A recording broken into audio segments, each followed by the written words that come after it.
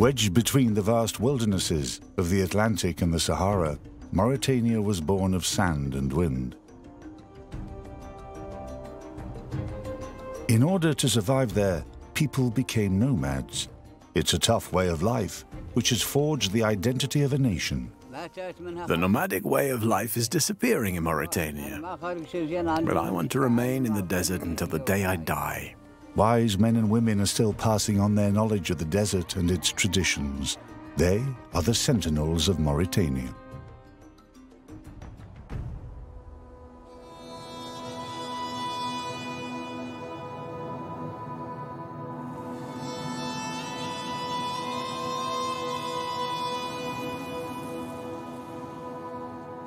Times have changed, and nomadism has almost disappeared. Around the world, humans have become largely settled. A quarter of the 4.5 million inhabitants of the Islamic Republic of Mauritania live in the capital, Nouakchott.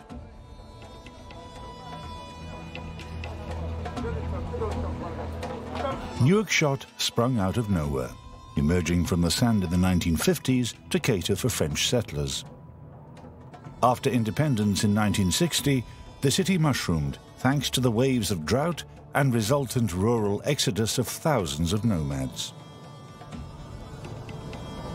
The bricks and concrete which now cover the sand have not killed the nomadic soul of the Mauritanians. At the dromedary market, the roar of automobiles is drowned out by the cry of the animals. And further away, at Nouakchott's fishing port, the clamour of the sailors sounds like an invitation to travel.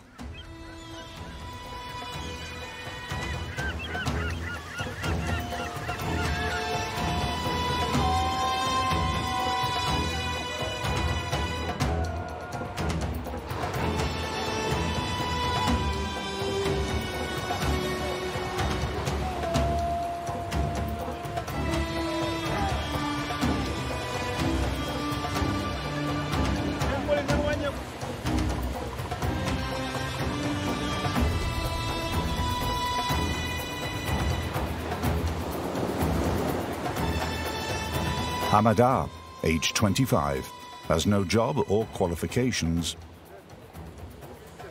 He must rely on the strength in his arms and his unwavering determination to get by.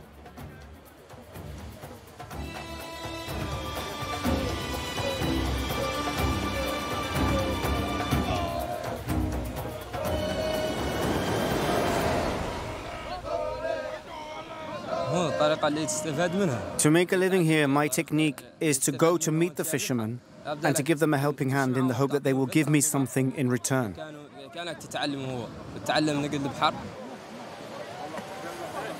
A lot of people have quit the nomadic way of life to settle in Nouakchott.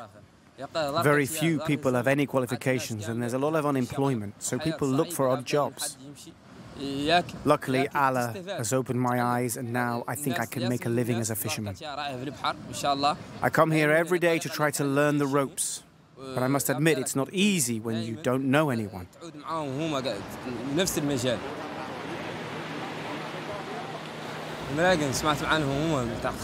Someone told me about the Imragen people. Apparently they spend their whole life at sea and are excellent fishermen. I'm curious to know how these people live, so I've decided to head north today to try to learn some of their secrets.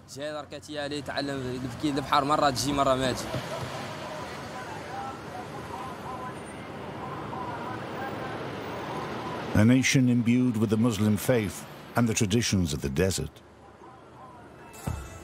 To understand what makes Mauritanians tick, you need to look to their history and geography. Situated in both North and West Africa, Mauritania is three quarters desert and one and a half times the size of France. Its population is a cross between local animist tribes, Muslim Berbers originally from North Africa, and Beni Hassan warriors who crossed the Sahara from Arabia. Most of that population, which is 99% Muslim, now lives on the Atlantic coast. North of Nouakchott, Covering an area of 12,000 square kilometers, the Banc d'Arguin National Park offers board and lodging to migratory birds.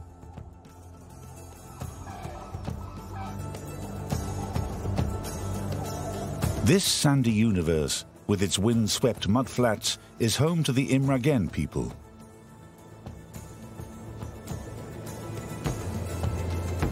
This strange society, geographically and culturally cut off from the rest of Mauritania, is based entirely around the sea. The Imragen people have become hardened sand sailors and understand the caprices of the Atlantic better than anyone.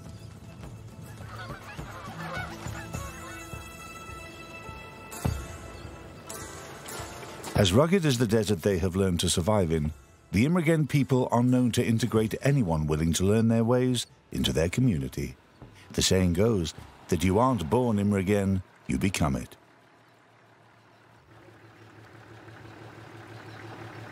That means a chance for Hamada, our apprentice fisherman from Nouakchott, to learn a new profession.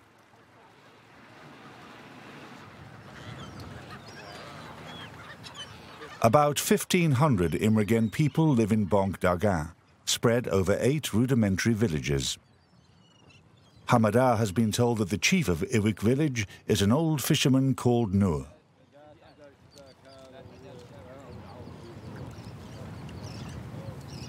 Hello. Hello. How are you? Fine, and you? I'm fine, thank you. You're in good health? Yes, thank God. What are you doing here? Well, I'd like to learn how to be a fisherman. Do you want to learn? We can't integrate you into our society without getting to know you first. You might be a thief, or you might have problems we don't know about. No, I have no problems. I just want to learn how to fish. I was told you're a good teacher and you have a lot of experience of the sea. All right, all right. Teaching you is not a problem, but first we need to see how you fare at sea and if you're honest. I won't disappoint you. Give us out with the nets, and then we'll see about the rest. Stand on this side and help them haul it in. That's the best way to learn.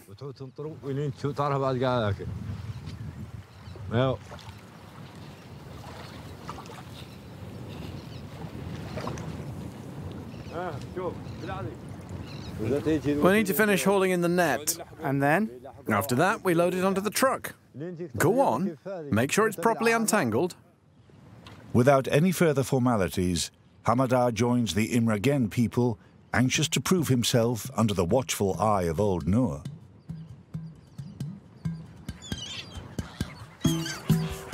Fishing is at the center of every concern here, every activity.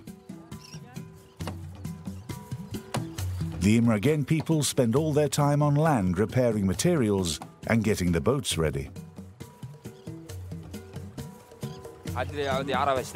What are you doing? We're repairing this sail. It's called a pint. Where does the cloth come from? We buy the cloth in Nouakchott, and then we bring it here. We give it to the women because they're the ones who do the sewing. Uh-huh. Next, we're going to raise the mast. You're going to help us.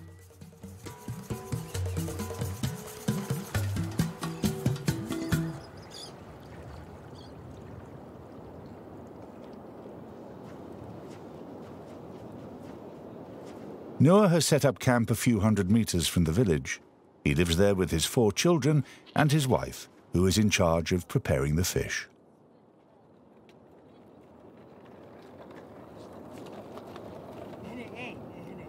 The Imragen people sell most of their fish to fish merchants from Nouakchott. The rest forms the basis of their diet in this totally arid environment.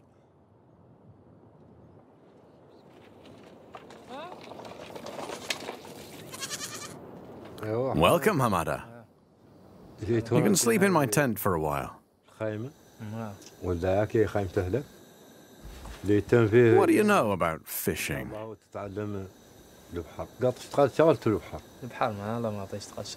I've never been allowed on board a boat. Haven't been to sea yet. All right, let's start with that. God willing, tomorrow you will set sail with Salek. He'll show you a few navigation techniques. Is Salek the skipper? Yeah, he's in charge of the crew. He's also my nephew. If you get on okay, I'll teach you other things afterwards. God willing.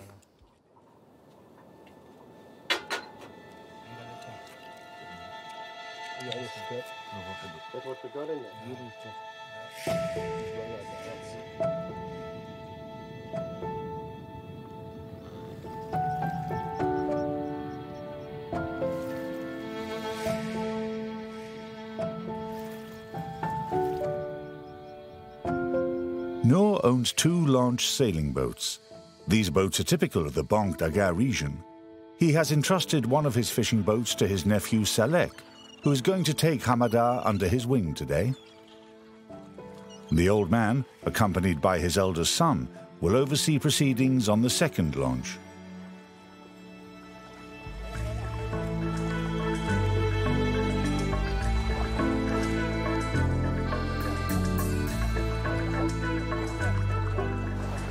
We need to straighten up the mast.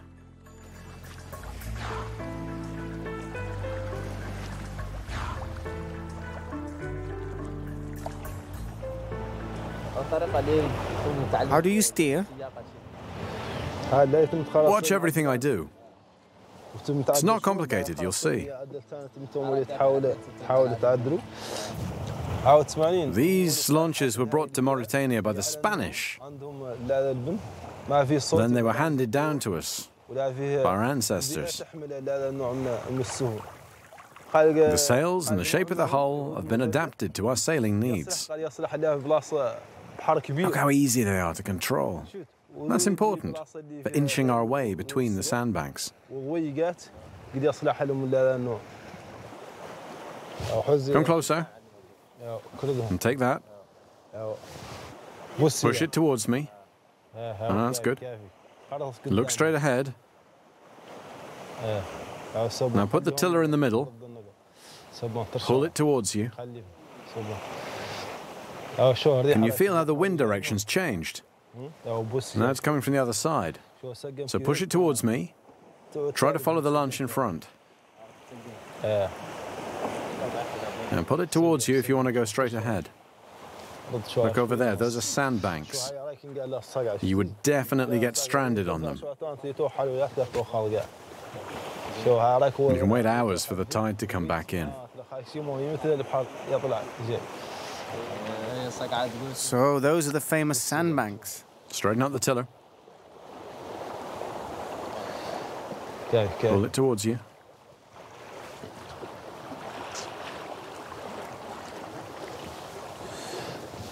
Right, wait. I'm gonna need to take over here.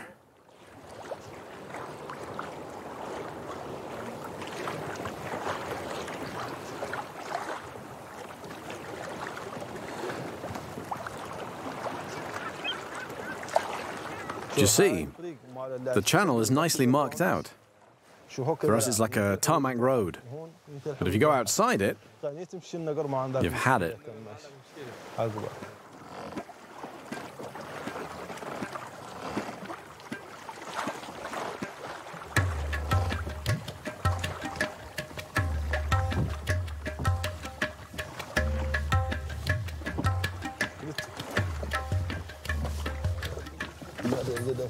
Hamada, don't just sit there doing nothing. Go front and haul in the nets. Go on, haul it in. Hamada, try to pull more evenly. You're here to work. Untangle it as you pull. What sort of fish is that? That's tuna. That too. Today's been a good day. We've caught a lot of fish. We've nearly hauled in the whole net. Hamada, you've worked hard today. Uh, what length of net have we hauled in? The net's 150 meters long. Uh, Put the fish in the hold.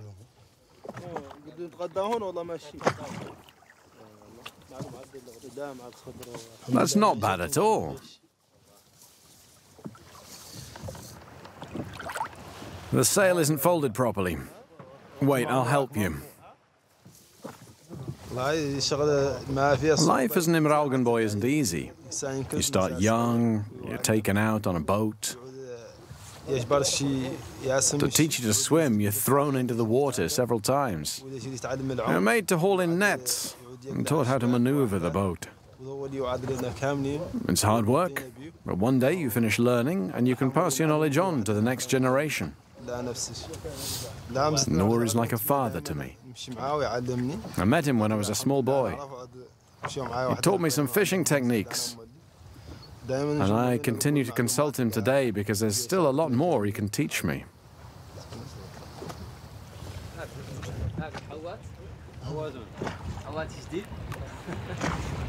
Who's this young man? It's me, Hamada, the star fisherman.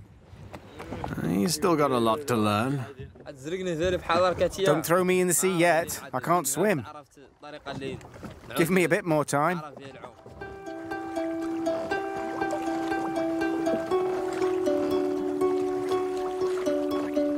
In one day with the Imragen people, Hamada has learned more than in the past few months at Nouakchott port. This arid-looking outpost might just represent a new departure for him.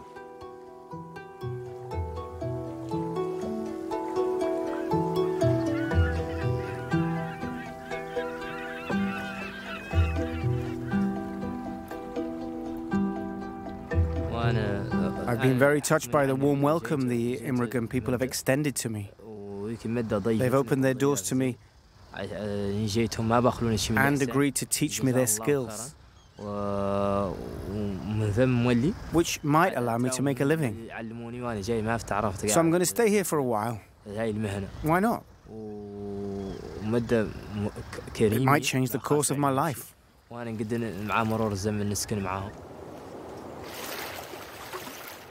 The Imragen people have realized that integrating outsiders into their community is essential to the survival of their traditions.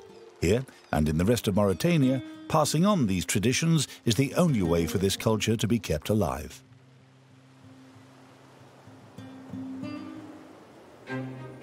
As you travel inland to the east, the Atlantic coastline gives way to sandy plains and mountain ranges.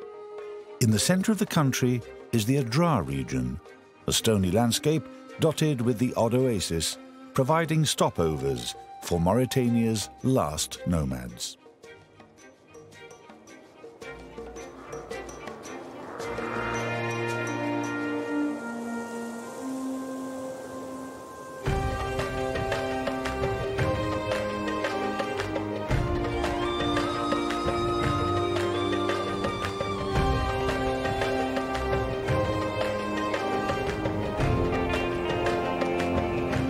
Adrar's nomadic shepherds cross the desert tirelessly in search of pastures.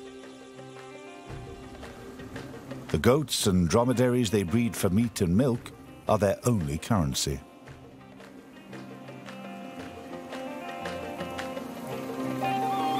Yuba is the father of this family. The youngest child is 17-year-old Deda. Go slowly, Deda. The animals have heavy loads. You need to find an easy path for the dromedaries to tread. Yes, okay, Father. But which way should I go? Go to the other side of the dune. The kids can stay behind. We'll come back for them once we've set up camp. Dada, don't get separated from us. Wait for your father to tell you which way to go. Okay. In the desert, we use the mountains or the shape of the dunes to find our bearings. Or else we use landmarks passed on to us by word of mouth.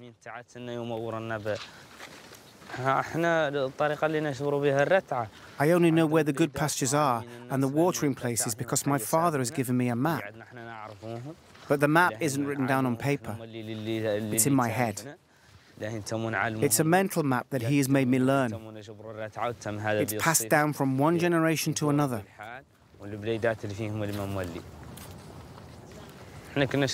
We've been traveling for a month now, and we're approaching the Tungad Oasis. There's water there and also a camel race. I really want to take part and see if I can win it.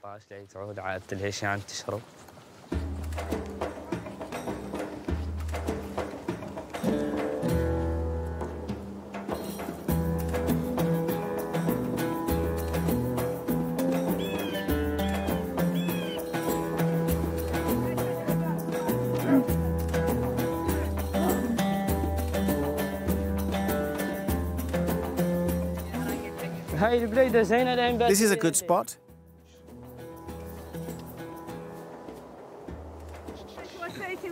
That was a long day. Zaha, aren't you tired?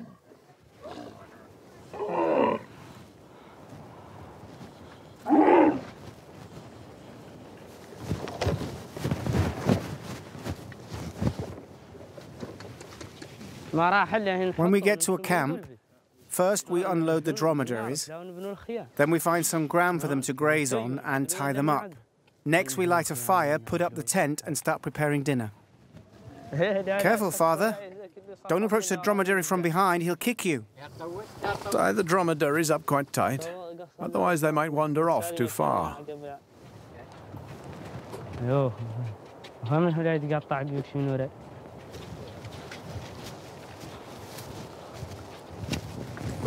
We've chosen a campsite where the sand is soft enough to hammer in our pegs.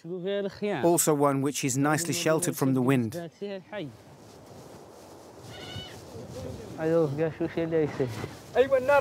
up and light the fire. I want my cup of tea. Come on.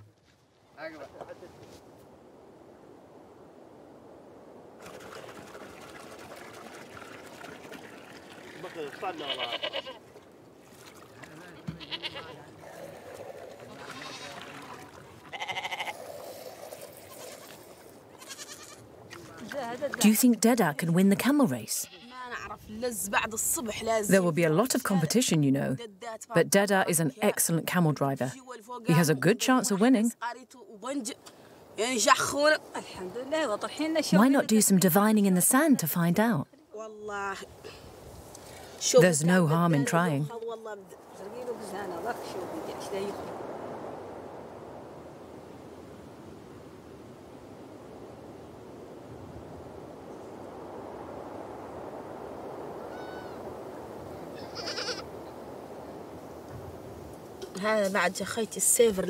I can see a yellow dromedary, and it's going to overtake Deda. What are you talking about? No. I think Deda is going to come second. You listen to me. My Deda is going to come first, number one.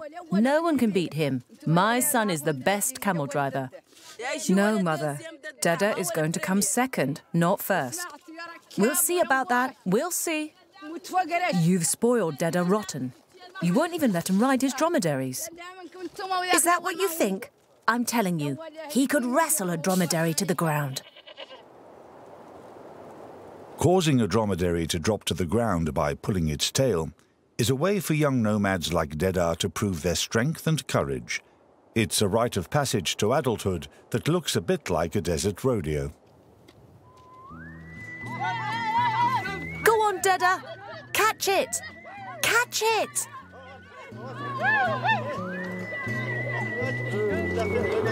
Can the women come and assist?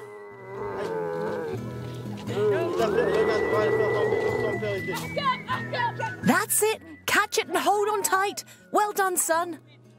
That's enough. I'm going to tie it up again. But Deda! Go on, Deda. You can do it. I'm not moving. May Allah grant you a long life. Everyone is waiting. This is a test for you. No, I can't do it.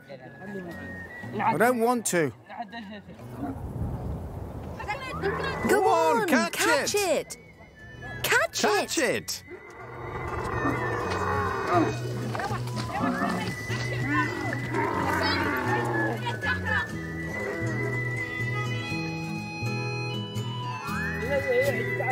Stop! I've had enough. He's had me running in all directions. I must have run 20 kilometers. Once the chores have been done and the evening meal is over, it's time for stories and poems. Poetry sparring matches are one of the oldest nomad traditions.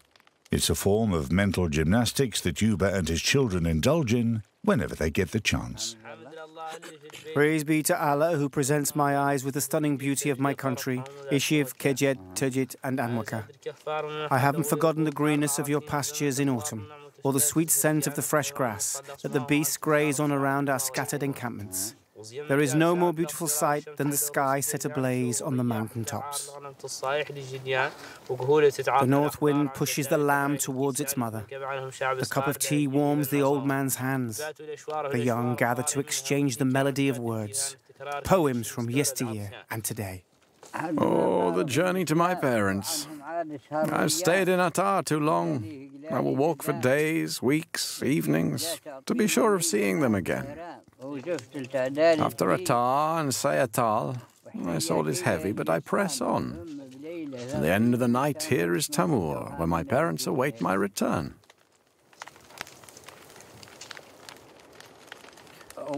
Popular poetry occupies a big place in our traditions. We try to outdo one another with poems of praise or nostalgia. This is said to be the country of four million poets.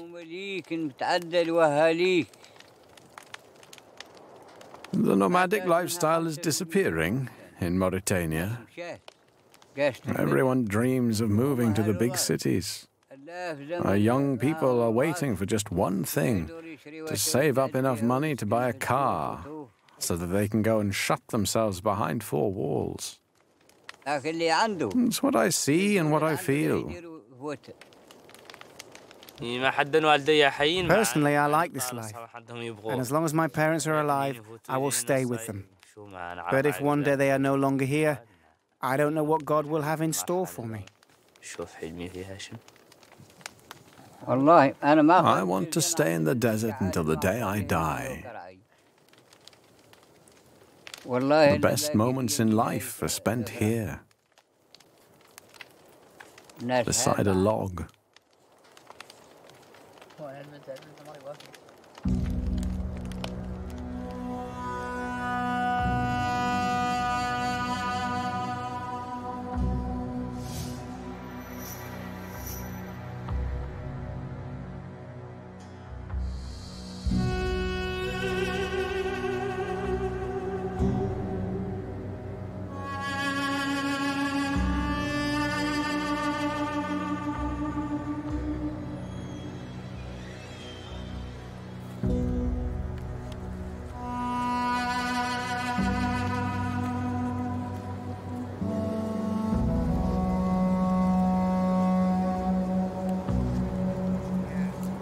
Tejit, Timinit, Maiden, Agmamin.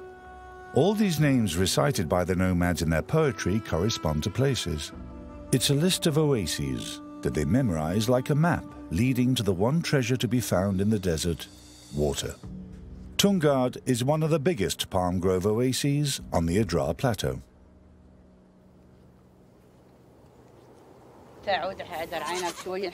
I can't wait to get to Tungad. We'll be able to buy millet and seeds. We need to stock up. First, we'll give the animals a drink and replenish our water supplies.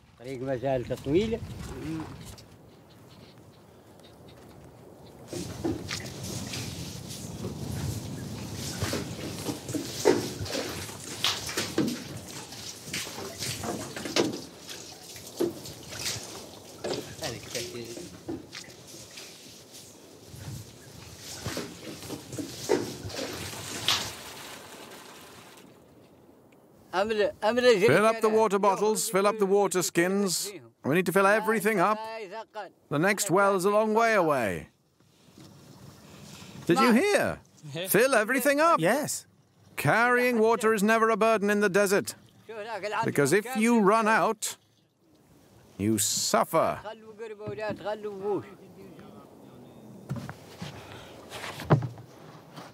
If you've finished filling those up, go to the village to sell a sheep. I need money to buy provisions.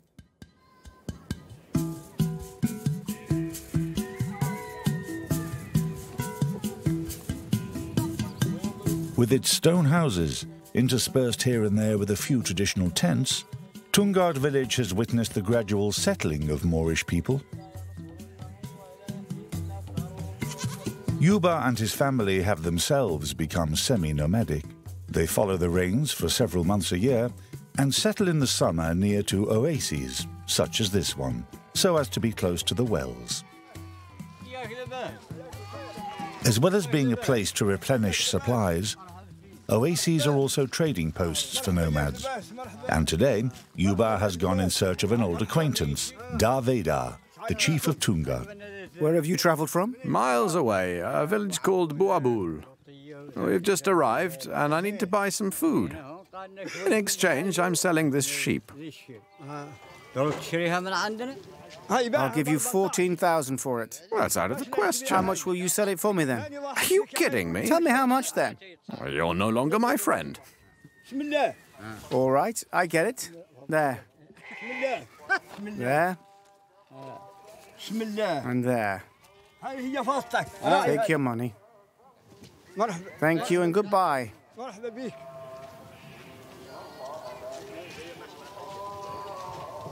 Da Vedar, the chief of Tungad, is also a farmer. He owns several hectares of land in the neighbouring palm grove.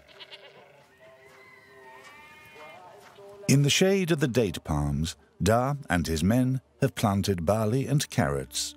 It's an island of green in the middle of the sand.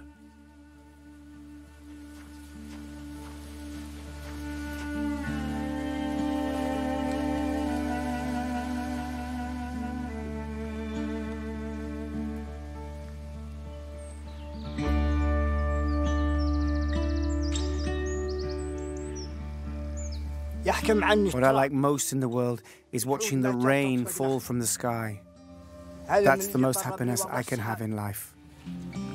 Because it's rainwater that causes the groundwater to swell. And that water supply allows us to water our plants and keeps the oasis alive.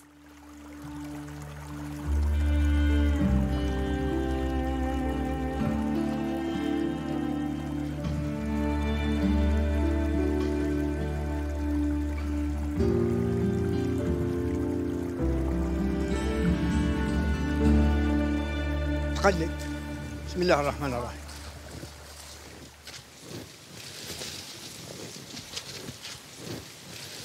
محمد لمين Mohammed Lemin, are you all right up there? Climb's not too difficult. No, it's fine.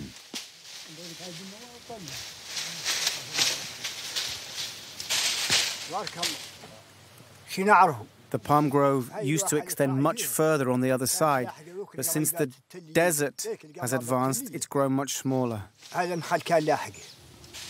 The desert is continually advancing. It's smothering the palm trees, and the palm grove is dying.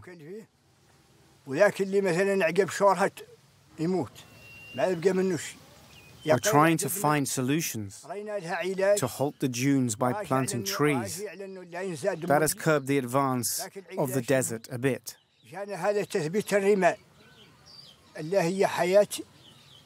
I am not the only guardian of this oasis. All the people who work here take up their shovel or their pickaxe to help protect the palm grove.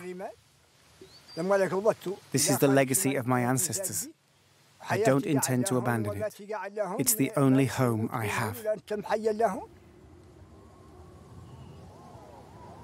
By preserving this palm grove, Da Vedar and the villagers of Tungad are also protecting a watering hole that is indispensable to the survival of nomads on the Adrar Plateau.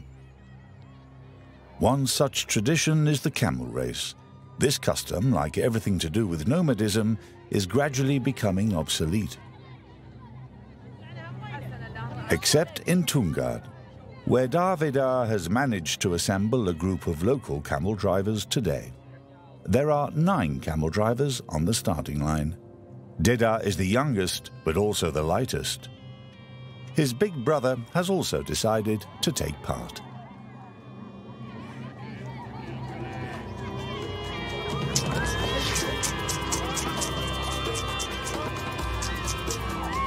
Deda and his brother are well placed. They help one another and zigzag in and out to close the gap on their competitors.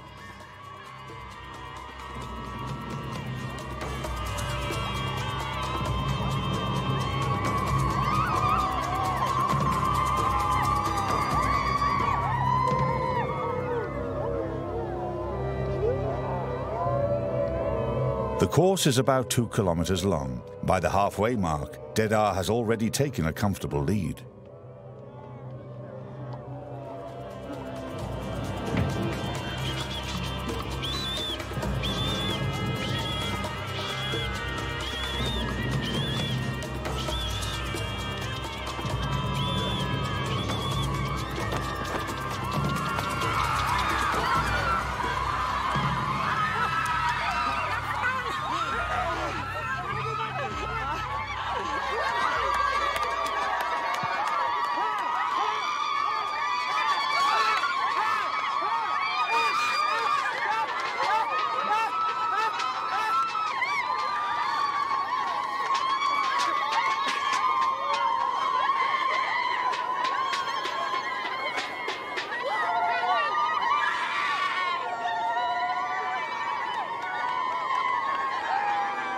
Well, Father.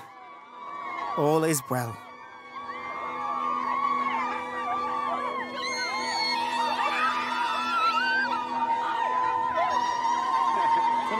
Something wrong? No, everything's fine.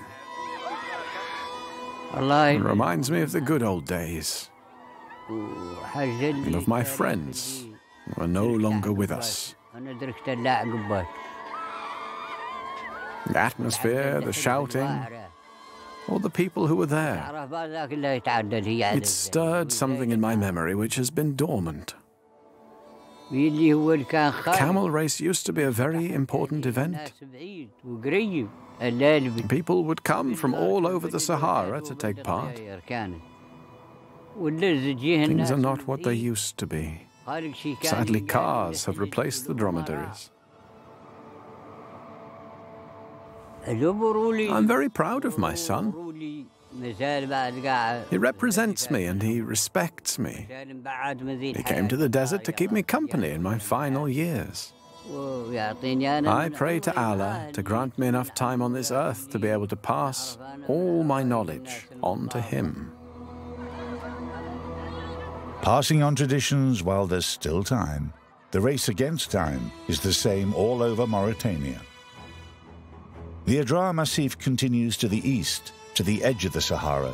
There, a geological structure, 50 kilometers in diameter, the result of subterranean volcanic activity and erosion, scans the stars like a giant eye.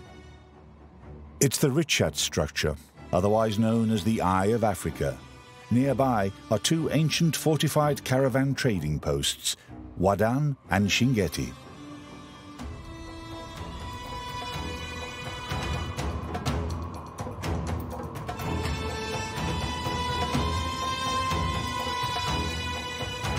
Founded in the 13th century, the fortified town of Chinguetti was a commercial crossroads between North Africa and sub-Saharan Africa. This desert metropolis was the seventh holy city of Islam and a symbol of the Sahara's nomadic culture.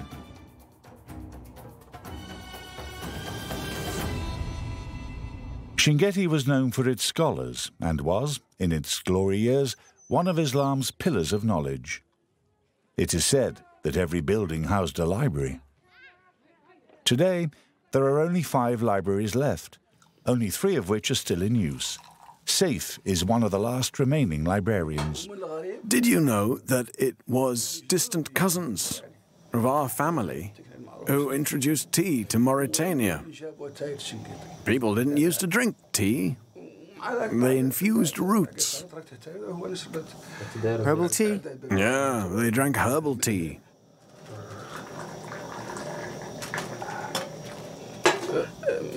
My grandmother always used to say, I must stop drinking all this tea. But the problem is, as soon as you've washed your face in the morning, you fancy a cup of tea.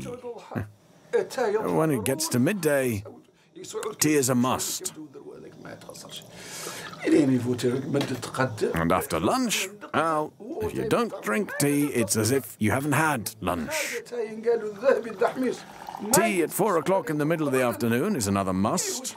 And at night you need a cup of tea too. So, of course, she didn't manage to cut down at all. Just like every morning, Saif is getting ready to go to work in the family library. But today is a special day. His nephew Mohammed is starting work alongside him as a librarian's apprentice.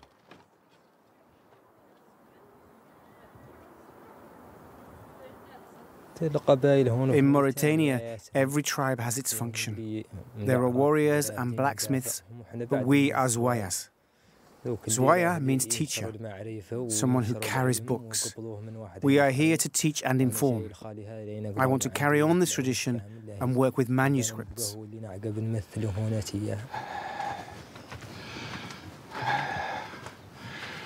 Here we are at last.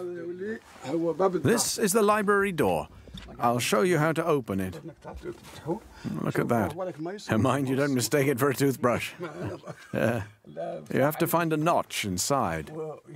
Uh, once you find the hole, you jiggle it, and hey presto, it opens.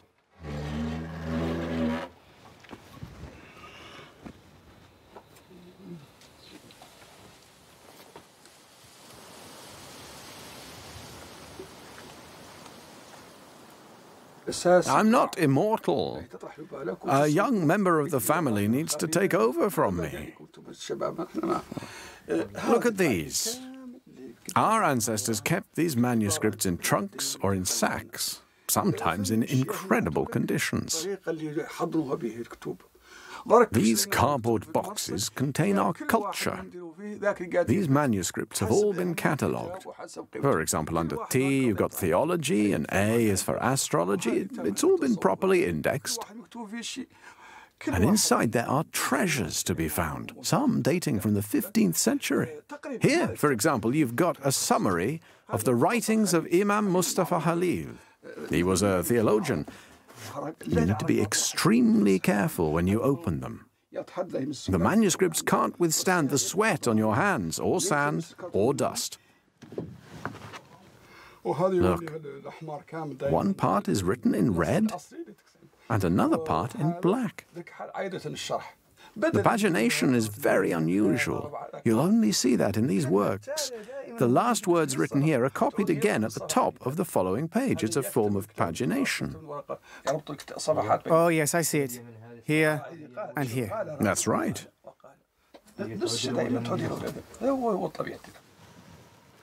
Follow me. I'm going to show you some others in broad daylight.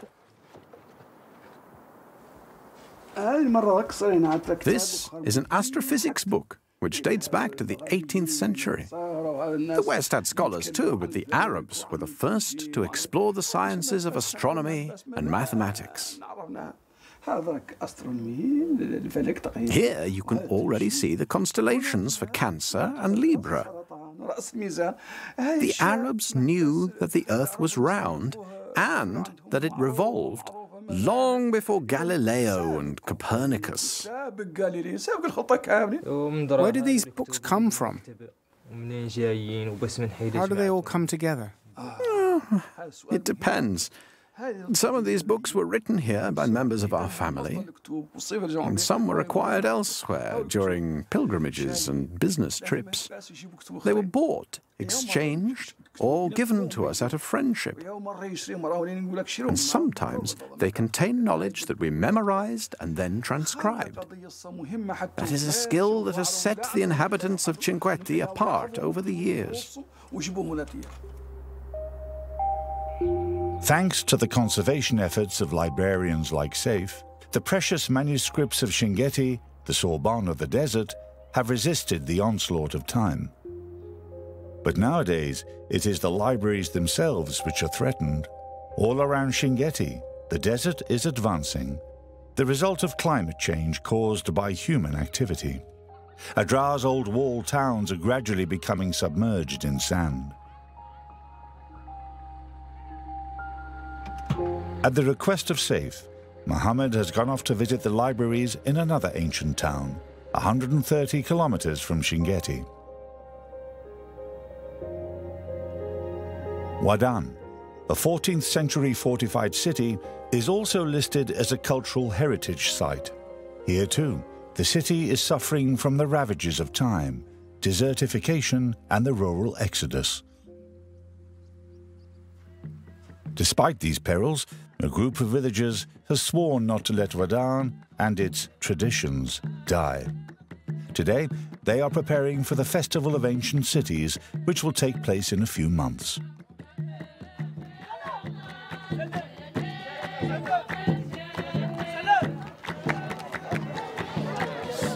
Hello. Welcome. Saif told me you were coming. Come and join us.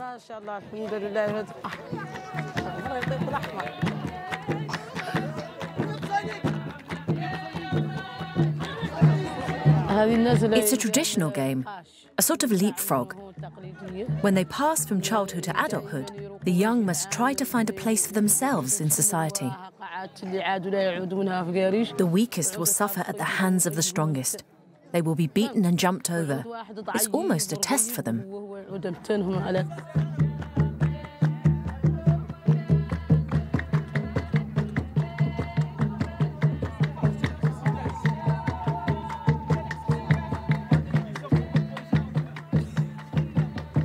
Why are they touching their heels with their tongues? What does that mean? It's a game of dexterity. You are upside down. You have to go down without touching the others. It's called the fast and the pilgrimage.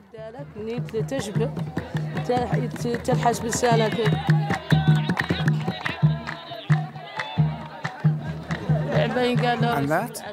This game is called the Jumping Virgins. You need to be very strong to support the weight of the others. If one person collapses, the whole team loses.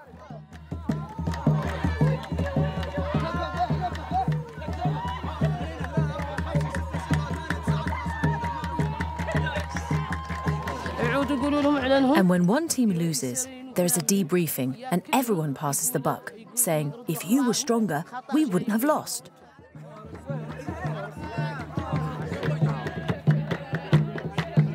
Now it's the tug of war. Are you playing? Yes, I'm going to have a go. Go on then. Go and defend Chinguetti's honor.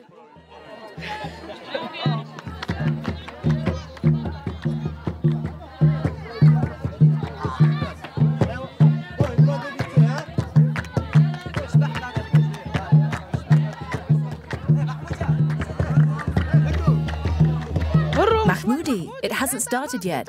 Don't start pulling yet.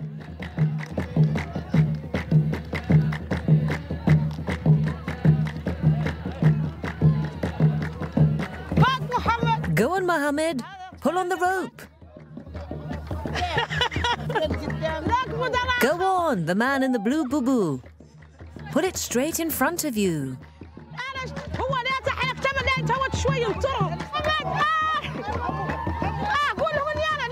Go on, pull. Don't give up.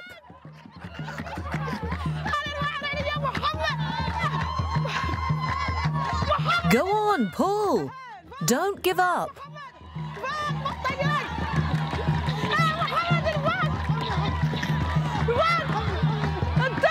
No, pull harder. Pull harder. It makes me laugh because Mohammed, who has travelled a long way to see us, is getting beaten like everyone else. He should take it as a welcoming gesture. It's our way of saying, you are one of us. It's what you might call tough love. It makes me very happy to see a young man like him show an interest in tradition and culture and these manuscripts. I'm comforted by the fact that they won't disappear because the young are there to take responsibility for this heritage, this treasure which has existed since the dawn of time.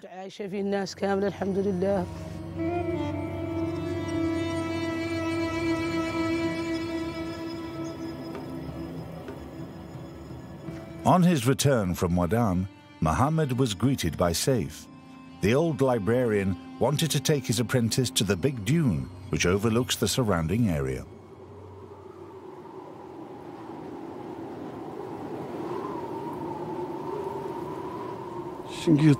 Chinguetti must survive. You must pass this knowledge on. My generation of old people has had its day. It's up to you youngsters to roll up your sleeves now. Bear in mind that you are defending the legacy of your forefathers, and that without you, it will soon disappear.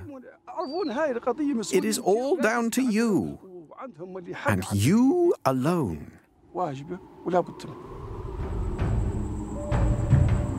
Saif is training up his successor because passing on his expertise is worth more than a legacy of 1,000 pieces of gold. Just like Yuba the nomad, or Nor the fisherman, he knows that Mauritania's heritage now depends on its next generation of sentinels.